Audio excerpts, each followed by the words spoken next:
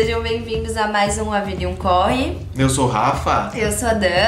E hoje a gente vai trazer para vocês mais informações atualizadas sobre o coronavírus, o como foi essa última semana aqui na Itália e principalmente no Vérito que a gente tem passado. Sim, é muita gente. A gente fez uma pesquisinha no Instagram e aí muita gente quis saber das atualizações. A gente falou, até perguntou, né? Será que é, não vai ficar repetitivo? Não, mas porque cada dia tá mudando Sim. e tem um uma coisa, muita coisa muito nova, né? Então, bora lá começar. É, até então foram é, diagnosticados 1.537 casos aqui na Itália, sendo 263 aqui no Vêneto e sendo 72 aqui na província de Treviso, que é onde nós moramos. Os, as pessoas que se recuperaram foram 83 e 34 pessoas falecidas, 140 na terapia intensiva e foram mais de 21 mil tampones feitos na Itália.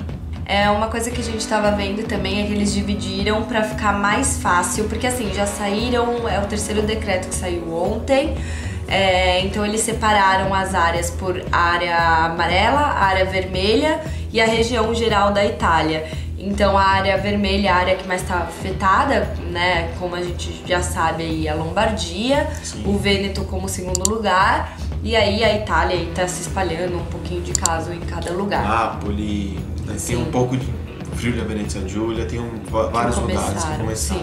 Lembrando que nas zonas rossas, como, ou zonas vermelhas, como a Dan falou, é, continuam fechados. Igrejas, escolas, museus, palestras, academia, é, tudo fica fechado. Piscina, então é, tudo que pode ser evitado de aglomeração de pessoas vai ser evitado. Inclusive a gente estava vendo no jornal, é, são serviço, serviços não pagos, Sim. que eles estão, por exemplo, levando alimentação, tudo que as pessoas precisam, então eles vão tudo mascarado até as casas levar. Isso é, é a Proteção Civil que está fazendo isso. Ele está fazendo esse serviço de levar a compra até as casas das pessoas. Então a pessoa ali fala, eu preciso de papel higiênico, é, produtos de limpeza, produtos de higiene pessoal, eles fazem e levam para a pessoa. Já na região aqui da Zona Amarela, que seria a região do Vêneto onde nós moramos, as coisas ficam mais ou menos é, iguais, tá? Do que semana passada. Na verdade, é, prorrogou uma semana sem aula. Então, escolas, universidades são fechadas até dia 8, até um novo decreto, tá?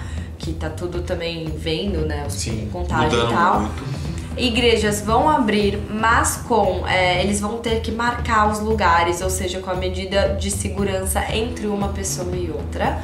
É, bares, discotecas fechadas, tá? Não, é, pode, não abrir. pode abrir porque é muita aglomeração. Por exemplo, restaurantes e tal podem abrir, porém a mesma coisa, é serviço e na mesa, na mesa então não é respeitando balcão, a distância, a distância de segurança. Então aqui é um pouquinho menos é, rigoroso. rigoroso do que a zona vermelha, que já tá um absurdo, né? Sim.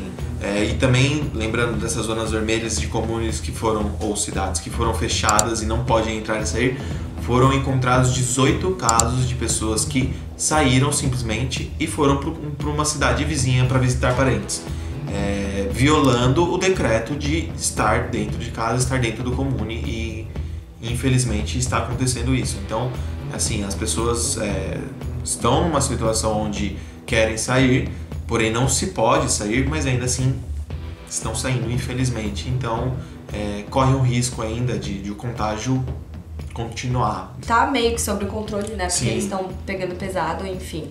É, outra coisa, voo, a Turquia fechou com a Itália, Turquia né? Fechou. Turkish Airlines não está fazendo voos com a Itália até segunda ordem.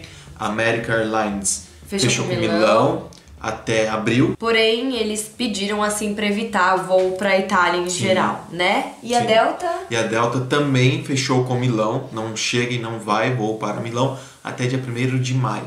Então essa, essas foram as medidas tomadas para é, precaver também o contato com a Itália. É, inclusive teve um voo da American Airlines que estava vindo para cá. Metade dos passageiros já estavam dentro do avião, já tinham embarcado e a outra metade foi impedida de embarcar. Eles fizeram todo mundo descer e falaram: vocês não vão, é, porque a gente está bloqueando os voos para a Itália, vocês não podem ir mais. Vamos disponibilizar outro voo para a Itália, ela que está fazendo essa, esse, esse percurso. A própria Itália, mesmo. A própria Itália está resolvendo isso. É uma outra coisa agora, falando do que a gente está passando aqui, né? Por exemplo, agora a gente foi numa lojinha que são dos chineses daqui. Sim. E eles estão todos usando máscara. Eles escreveram na porta que todos os funcionários, por questão de segurança, estão usando máscara.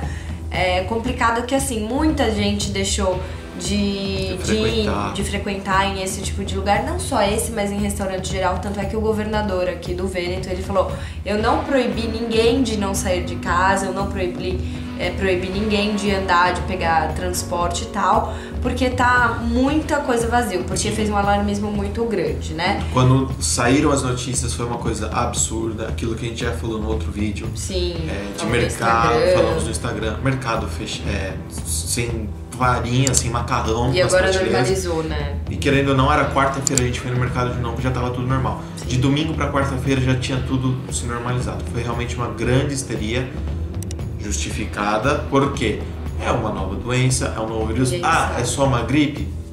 Não sabemos. Então ela tem que ser tratada assim com cautela. Sem histeria, sem alarmismo, Mas com- porém com precaução e cautela. Dizem que desde a segunda metade de janeiro está circulando o vírus, mas provavelmente já desde antes, até mesmo por conta do, da quantidade elevada de contágio. Não dá para você ter uma noção precisa de quando. Algumas empresas também tomaram medidas como de uma empresa de 200 funcionários, 30 estão trabalhando fisicamente na empresa e 170 estão trabalhando em casa, é, chamado Smart Working, que é através do computador. Disseram, inclusive, que tiveram um aumento na eficácia do- dos trabalhadores, dos funcionários, então, às vezes, até algo positivo está saindo dessa, dessa reclusão Né, das pessoas. Interessante. Inclusive, é, vale lembrar também que as escolas também estão fazendo isso. Sim, É, professores estão fazendo todo o material por tablet, por computador, vídeo chamada com os alunos. Então não é que tá super perdendo aula. Inclusive o, o governador falou que se for necessário também aumentar a carga horária até o final do Sim. ano vai aumentar. Mas de qualquer maneira eles estão tendo aula ainda. não É, foi não- parado. Foi parado o presencial. Mas por internet, Sim. atividades e tal, eles tão, estão fazendo. Bom, é, no mais é isso. A gente meio que normalizou a nossa vida, a nossa rotina aqui Sim. por enquanto. A gente sempre tá atento, sempre tomando cuidado. Se surgir um novo decreto, a gente também fala aí com vocês, Sim. né? Conforme for. E, mas no mais, é mais isso, Mas né? isso é aquilo. É vida que segue, sempre com cautela, com precaução. Inclusive nós vimos que já começaram a aparecer casos no Brasil. Sempre o mesmo, é a mesma coisa da- de uma gripe normal. Lavar a mão, é, lavar o rosto, não coçar o olho, coçar a boca na rua, enfim. É a higiene básica, básica, básica para evitar uma gripe. Não se sabe quem está com o que está. Então a gente tem que se. Principalmente se, sem sintomas, né? Que é Principalmente o, sem sintomas. o principal é, horror dessa, Perigo. dessa. O principal perigo dessa, dessa nova gripe Sim. que tá chegando aí. Espero que vocês tenham gostado. É, esse foi o tã, tã, Tã, tã, tã, da Vida um. Boa semana a todos e até a próxima. Até a próxima.